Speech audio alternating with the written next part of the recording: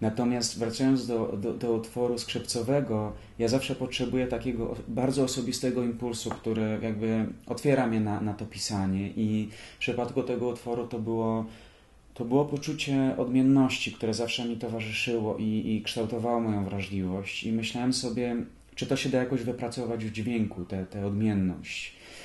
I kiedy w trakcie pracy brałem skrzypce do ręki, to dla mnie to, to, to ciało skrzypiec, które ma się tutaj pod brodą, to jest oczywiście pewnego rodzaju środowisko, a smyczek jest jakby normą, która wzbudza prawidłowy rezonans tego, tego środowiska.